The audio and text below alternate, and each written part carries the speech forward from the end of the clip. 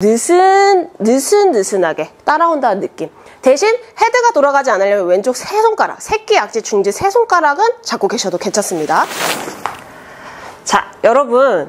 제가 방금 샷 하나를 했는데 저의 느낌은 굉장히 팔 자체가 릴렉스된 상태에서 몸으로만 클럽을 컨트롤한다는 느낌으로 제가 스윙을 방금 해봤어요.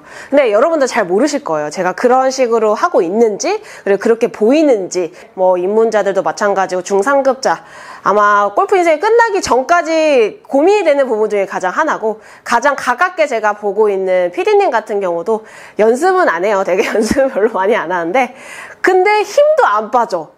그러니까 이제 연습 안 하는 거 비해 되게 잘 치세요. 연습 안 하는 거 되게 잘 치는데 힘 빠지는데 굉장히 곤욕을 이제 치르고 계시더라고요. 그래서 제가 오늘 힘을 어떻게 하면 조금 효율적으로 뺄 수 있을까? 어떤 느낌이 힘을 빠지는 느낌일까라는 하는 레슨을 준비해 봤어요. 첫 번째로 제가 강조하고 싶은 부분은 뭐냐면 팔로 컨트롤 하지 말고 몸으로 하체, 웬만하면 하체로 좀 컨트롤을 해라 라고 말씀을 드리고 싶어요. 어떤 말이냐면은 그냥 제가 여기다가 이렇게 놓고 놓은 상태에서 제자리에서 몸을 일로 움직이고 일로 움직여 볼게요. 자, 이런 식으로. 일로 갔더니 얘가 일로 따라오고 일로 갔더니 얘가 여기서 빠져나가는 형태죠. 지금 보면은 자 여기다 두면서 일로 가니까 일로 움직이고 일로 가니까 일로 다 따라오는 여기로 갔다가 여기로 가는 그 대칭적인 움직임이 자연스럽게 나오는 동작이에요. 이게 보면은 여기서. 네, 그만큼 우리의 문제점을 뭐냐면 몸은 하나도 안 쓰고 팔이 굉장히 경직된 상태에서 팔로만 컨트롤하는 느낌. 보면 하나도 안 돌았죠. 그쵸? 아니면은 여기서 이렇게 이런 식으로 뒤로 제껴버리거나. 가장 제가 싫어하는 부분 중에 하나가 뭐냐면 여러분들이 많이 하고 있는 부분 혹은 모르고 있는 부분 중에 하나인데 여러분들을 굉장히 뒤로 헤드를 보내는 거를 굉장히 많이 하세요. 이런 식으로. 모를 수도 있어요. 뭐 독학 하시는 분들이라든지 아니면은 혼자 칠 때는 사실 내가 이렇게 뒤로 빠지는지 모르거든요. 왜냐면 보이기에 괜찮으니까. 근데 이 손보다 헤드가 뒤로 이렇게 제껴지는 경우는 거의 이제 공을 맞힐 수 있는 확률 자체가 굉장히 좀 많이 떨어진다고 생각을 하시면 돼요. 물론 선수들 중에도 이렇게 뒤로 제껴지는 선수들도 있겠지만 그만큼 많은 연습량을 통해서 어떻게 보면 잘 맞춰 치는 건데 여러분들이 하는 이렇게 뒤로 제껴지는 이런 경우 같은 경우는 굉장히 어, 공의 정타율을 떨어뜨릴 수밖에 없는 그런 형태가 될 수밖에 없고요. 그래서 제가 좀 원하는 좀 어떤 느낌을 가졌으면 좋겠냐면은 팔은 제가 우선은 어 거꾸로 한번 잡아볼게요. 거꾸로 한번 잡아보고 왼손으로만 한번 잡고 오른손을 뒤로 빼볼게요. 이번에는 오른손을 뒤로 뺐을 때 자 몸으로 먼저 어떤 느낌이냐면 이 우측에 무릎과 이 골반을 먼저 이렇게 돌려주 먼저 이런 식으로 치워준다라는 느낌을 먼저 받을 거고요. 그 다음에 어깨랑 강배 쪽은 자연스럽게 따라오도록 이 와중에 제가 팔은 얘기 아니 손은 얘기 안 했어요. 그럼 약간 제가 하면은 어떤 느낌이 드냐면 이게 팔이 여기서 이런 느낌이 처음에 들어야 돼요. 아까 제가 표현했듯이 약간 되게 느슨 느슨느슨하게 따라온다는 느낌. 대신 헤드가 돌아가지 않으려면 왼쪽 세 손가락, 새끼 악지 중지 세 손가락은 잡고 계셔도 괜찮습니다. 근데 만약에 우리가 이제 정, 거꾸로 그립 부분을 잡았을 때는 우측 그립에 상당히 좀 힘을 빼주시는 게 좋아요. 자, 왼쪽 세 손가락을 잡고 여기서 이렇게 흔들거리듯이 따라오는 느낌을 받으세요. 우선 처음에 하기 전에. 그 다음에 두 번째로 자, 아까도 말했듯이 얘네들을 먼저 치워주면서 얘를 이렇게 가져가는 느낌. 그러니까 얘가 치워주니까 얘가 이렇게 따라오는 느낌이 들어야 돼요. 그러니까 내가 만들어서 만들어서 만들어서 코킹 힌팅 다 하고 이런 느낌보다는 나를 치워주면서 얘가 따라오는 느낌. 그러면은 보시면 보시다시피 팔이 절대 몸보다 빨라지지가 않아요. 여러분들, 어, 너 너무 스윙 빠르다. 어, 너무 빠른 거 아니야? 너무, 뭐, 좀 천천히 좀 해봐. 이런 것들이 뭐냐면, 손이 컨트롤 되면서 굉장히 이런 식으로 이 몸보다 몸의 회전량보다 팔이 굉장히 빨랐을 때 생기는 문제거든요. 여기서 마찬가지로 우리가 임팩트 여기 왼쪽에서도 손만 만약에 빨라져 버리면은 아예 이제 뒷땅이 나거나 타이밍이 아예 안 맞아 버리는. 그래서 여기서 보시면은 얘를 먼저 치워주고 얘가 딱 걸려지는 형태. 자, 여기서 치워주고 치워주고. 그러면은 제 느낌에는 가벼운 걸로 다시 한번 보여드릴게요. 이게 약간 스틱 같은 건데 자, 여기서 잡아주고 이렇게 빼고 여기서 자, 얘를 먼저 열고 왼쪽 어깨 강배는 따라오듯이. 그러면은 되게 약간 어떤 움직임이 약간 얘들이 먼저 가고 얘가 마지막에 따라와서 딱 잡히는 듯한 형태의 느낌이죠. 여기서. 가서 이런 식으로 빠져나가는 느낌이 들어야 돼요. 지금도 제가 팔로 이게 아니야. 이게 어떤 소리가 난 거냐면 내가 여기서 이렇게 치워주고 여기서 이렇게 치워줬을 때 얘가 저항이 자연스럽게 버텨냈던 게 내가 풀리면서 이렇게 빵 쳐지는 느낌. 그래서 자연스럽게 이쪽이 자연 빨라지는 이런 식으로 빨라지는 느낌. 이렇게 돼, 돼야 되거든요. 이런 식으로. 그러면 제가 보여드리면 스윙 크게 안 할 거예요. 거의 제 느낌에는 하프 정도만 한다 생각하고 한번 쳐볼게요. 자, 처음에 스타트를 할 때 이 하체, 그 다음에 약간 상체는 왼쪽 어깨, 강배 쪽만 약간 이렇게 따라오듯이 스타트를 걸고 다시 이렇게 돌아 나가는 형태로 한번 해볼게요. 자, 열고, 열고. 이런 식으로. 그럼 보면은 되게 어, 여러분들은 버, 보셨을지 모르지만 굉장히 약간 손의 형태는 여기서 이런 식으로 쫓아가듯이 되는 걸 보실 수가 있을 거예요. 그럼 중요한 점 여기서 뭐냐? 헤드가 뒤로 갔나요? 절대 안 갔죠. 그쵸? 아까 말했듯이 손이 빠르니까 뒤로 가는 거예요, 여러분들. 제가 이거 제일 싫어요. 뒤로 제껴지는 거, 여기서. 얘가 오히려 이 손은 항상 중요한 거, 백스윙 할 때 항상 중요한 거, 헤드는 손보다 앞에 있어야 됩니다. 항상. 항상 앞에 있어야 돼요. 절대 뒤로 가시면 안 돼요. 여기서. 가는 순간 그냥 끝났어, 끝났어, 그냥. 이렇게. 그게 아니라 그래서 오히려 여기서 몸이 먼저 열리고 나서 손이 이렇게 뒤늦게 쫓아가면 이 자세가 자연스럽게 나와요. 그럼 여러분들의 느낌에 굉장히 가파른한 느낌이 드실 수 있어요. 약간 느낌에. 가파르다 가파르다 해서 여기서 나중에 전환이 생기면서 자연스럽게 뒤로 떨어지는 형태가 돼주셔야 되거든요. 여기서 다시 천천히 해볼게요. 갔다가 둘 여기서 자 가파르지만 가파르게 올라가지만 내려오면서 전환이 생기면서 자연스럽게 안쪽에서 들어오는 형태. 약간 팔자 스윙 비슷하다고 할 수는 있는데요. 그만큼 여러분들께서는 제가 아까도 말했듯이 이 팔이 여기서 이런 식으로 느슨하게 몸의 움직임 일로 가니까 얘가 일로 쫓아와지고 일로 치워지니까 얘가 다시 일로 나가는 이런 거를 먼저 느끼셔야 내가 힘을 빼고 있다라는 걸 느낄 거고 이 움직임에 내가 집중을 한다면 팔에 힘을 들이지 않고도 손쉽게 스윙을 할 수 있다는 얘기죠.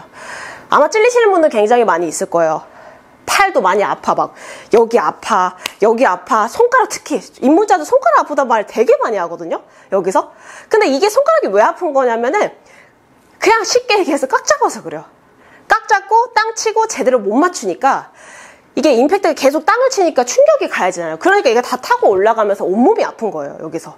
그러니까 이 팔을 내가 정말 여기서 이렇게 느슨하게 가져가도 여러분들은 절대 그렇게 안 보인다라니까요 영상을 찍어보면은 절대 이러고 있지 않아요. 제가 이렇게 가하게, 그러니까 제가 아까도 처음에 이렇게 보여드릴 때 그렇게 보이냐고요. 안 보이잖아요, 여기서. 그러니까 내가 느꼈을 때는 왼쪽 세 손가락만 잡고 여기서 이렇게 갔다가 이렇게 쳐지는.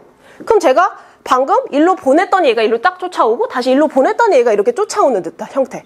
이렇게 돼도 제 느낌에는 거의 뭐 하프? 4분의 3씩만 해도 거리는 크게 손실이 없죠. 그쵸? 여기서.